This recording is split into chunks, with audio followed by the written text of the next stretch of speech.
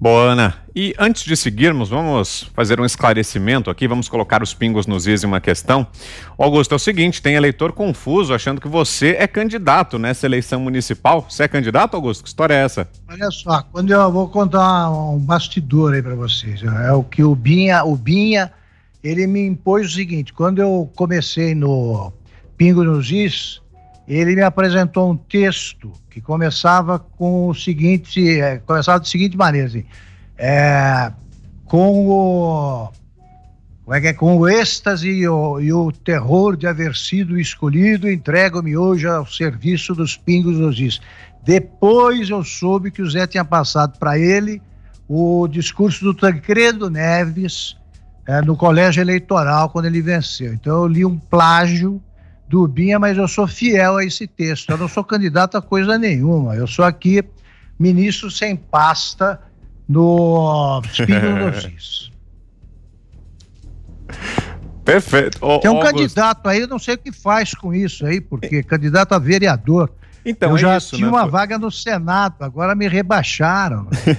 é um homônimo seu, então, né, Augusto? Tem um Augusto é Nunes concorrendo aqui em São Paulo a vereador, mas não se trata do nosso querido Augusto, né? Um homônimo. Já tem o Nunes Marques ali no Supremo me dando problema, porque ele escolheu esse nome, agora me aparece um homônimo. Pois, e tem outra confusão, Augusto, em que você está metido nessa eleição, que é o seguinte: está sendo divulgada aí uma peça de campanha de um dos candidatos à Prefeitura de São Paulo, em que circula um trecho de uma fala sua. Esclarece para a gente essa questão também, Augusto. Olha só, eu fiz há pouco tempo aqui um comentário sobre o Márcio França e eu fiz todas as ressalvas possíveis no começo. Diz, olha aqui, eu estou fazendo essa, esse comentário com base na minha experiência como uh, ser nascido numa família de políticos, com base em uh, com base na minha experiência em coberturas eleitorais. Eu não estou fazendo juízo de valor sobre candidatos, eu não tenho preferência por esse candidato.